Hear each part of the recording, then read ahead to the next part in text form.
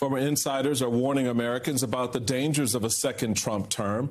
In a new foreword to his book, former Trump and National Security Advisor John Bolton writes, quote, nothing in politics is inevitable, and facts, even now, can shape politics. Facts are blunt instruments, and a mountain of facts demonstrates that Trump is unfit to be president. Former UN Ambassador John Bolton joins us here at the table. Uh, Mr. Ambassador, welcome. It's so good to have you. Yes, to be with thank you. you for being here. So, so you want to take that first one because I know, know, she's been chomping. She, I, I, read your I read your op-ed in the Wall Street Journal that you um, uh, that you know you have a your book is out again in paperback, right. and you refresh the foreword. And there's an op-ed in the Wall Street Journal from I believe January 31st. And then I saw Donald Trump last night, and I feel like there's some synergy here. I want to play for you what um, Donald Trump said last night in Conway, South Carolina, about NATO. One of the presidents of a big country stood up and said, Well, sir, uh, if we don't pay and we're attacked by Russia, will you protect us? I said, You didn't pay? You're delinquent? He said, Yes, let's say that happened. No, I would not protect you. In fact, I would encourage them to do whatever the hell they want. You got to pay. You got to pay your bills. The them is Russia that he is talking about. You write in the Wall Street Journal that Mr. Trump will act on his desire to withdraw from the North Atlantic Treaty Organization. He came precariously close in 2018. The Supreme Court has never ruled authoritatively whether the president can abrogate Senate ratified treaties, but presidents have regularly done so. Congress at the end of last year passed a bill to say presidents can't just withdraw from NATO, but you hear that from Donald Trump. You wrote these words that I'm reading in January. Right. Look, uh, that statute that you mentioned is almost certainly unconstitutional. Uh, I've, I've, been with presidents withdrawing from treaties. The Senate has no role in it. And I just think people need to take Donald Trump very seriously. Uh, too many people don't. Supporters of Trump and even opponents of Trump, when he says he wants to get out of NATO, I think it's a very real threat, and it will have dramatically negative implications for the United States, not just in the North Atlantic, but worldwide. It, it, that's the part that I, I don't understand uh, why people don't take him seriously uh, and why they don't appreciate what he's already tried to do and, and has done in some instances um, in, in the face of what he's telling us he's going to do. You write uh, uh, with regard to the constitutional crisis uh, in your new foreword, quote, if returned to office, Trump will need others to carry out his directives. He will rant White House, he will want uh, White House staffers to follow his orders without asking troubling questions, as testimony in the classified documents case demonstrates. These staffers will not be known for independent creative thinking, just personal fealty to Trump, for whom loyalty flows only one way. Why don't people appreciate that? Why don't they see that he's trying to build a sycophantic army of, of I'm calling them zombies, MAGA zombies, to do as he's in, instructing them to do? What is the disconnect that people don't seem to get that you now have uh, and have warned about in your new foreword? Well, I think people uh, really don't believe it could be as bad as it might be. I mean, I think a Trump victory risks continuing constitutional crisis. I think we'll survive it. I don't think democracy is threatened, but I think we could suffer a lot of damage. And uh, I, many others have tried in different ways to convince, especially Republicans, that this is serious. Uh, but as you say, we have not been successful so far. And I think what it reflects is that many of the people who support Trump support him because he hates the same people that they hate. And they don't care what he's prepared to do uh, to try and, and, solve that problem. And, and, and that is something that uh, I think really Republicans bear responsibility for. We, we, we got him into office in the first place. We need to get him out of office the getting out of office part, Symone, is is is the the tricky part That's because tricky we were part. just talking in the last uh, segment uh, about the polling right now, where Biden is losing on on the economy, he's losing on the border, which is sort of a quasi, you know, po- a foreign policy issue, if you will.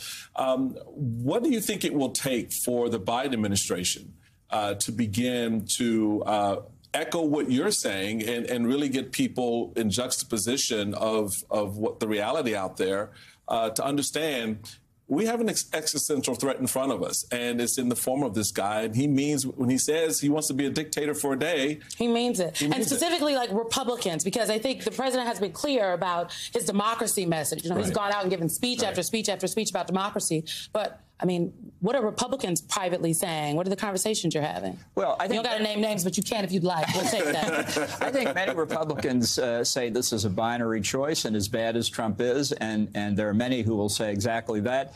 Uh, it's uh, it's not as bad as Biden or his potential successor Kamala Harris.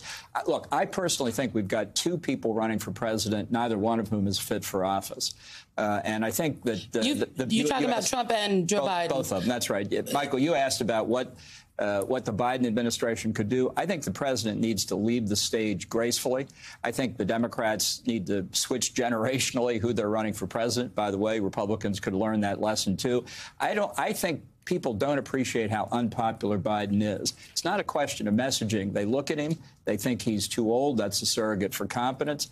Uh, and and I don't I don't see Biden being able to fix that. I think a different Democrat could say, I don't have to defend all the Biden baggage and could defeat Trump.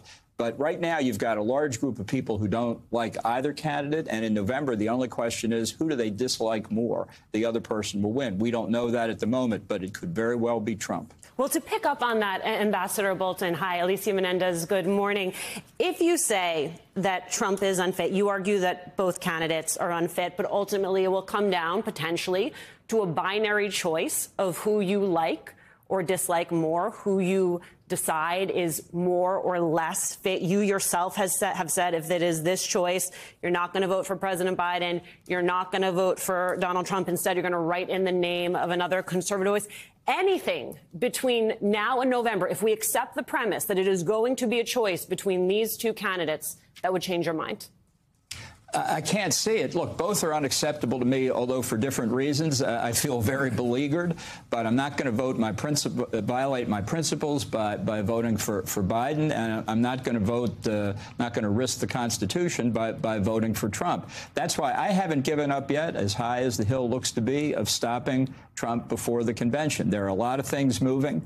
Uh, his criminal cases are still out there, uh, and and uh, a meteor could hit the Earth. I mean, there are a lot of things that could happen to stop Trump. But Ambassador Bolton, can I just ask because of, of, if you don't, because we live in a, I mean, you know, you you've been a UN ambassador, you've been a national security advisor, you've worked over many administrations, not just Donald Trump's, and while there, this is a two-party system, and so if you do not pick one of the candidates, I mean, people often say if one is not voting in this race for Joe Biden or Donald Trump, a third-party option or writing a name in does nothing but to support. At this point, the data shows Trump. I mean, you you say that they're the you dislike them for two different reasons, and you think they're both bad candidates. But we just played sound of Donald Trump saying Russia should go invade NATO countries. Meanwhile, Joe Biden has strengthened NATO. So I just, these can't be two sides of the same coin. Well, as I say, they're for different reasons, but uh, it's a matter of conscience for me. I'm not going to violate my principles.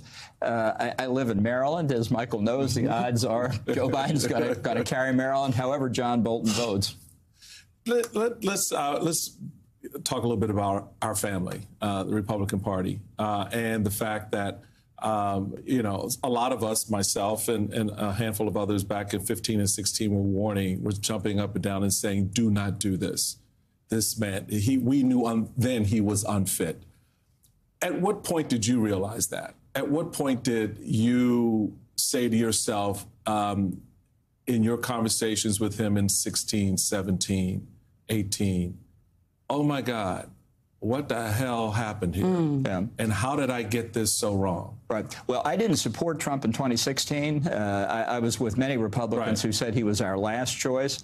Uh, I joined the administration uh, because I believed that uh, Trump, like every other president before him, would be impressed by the gravity of the responsibility he had in national security, the weight of the mm-hmm. decisions that aged many presidents it would discipline him. It would require him to think in uh, in, in, national interest terms. And uh, I, would spoken to him many times. I don't think anybody's called me naive recently. I think I understood what I was getting into, but I thought that pressure would have an effect. It had no effect whatever. Mm -hmm. And I learned it within days of taking the job. Uh, I did what I could for 17 months, uh, but uh, my book is really a 500 page explanation of how I got it wrong. You got it wrong. There will not be people like John Bolton in that administration if Donald Trump is reelected. I can tell you that. Yeah, there, yeah, there are no more Boltons uh, coming coming to Washington for Trump. But Ambassador, we're so happy you are here with us today. Thank you so much for taking the time to be a part of the conversation this weekend. Uh, in the next hour, Congressman Jamie Raskin joins us with his damning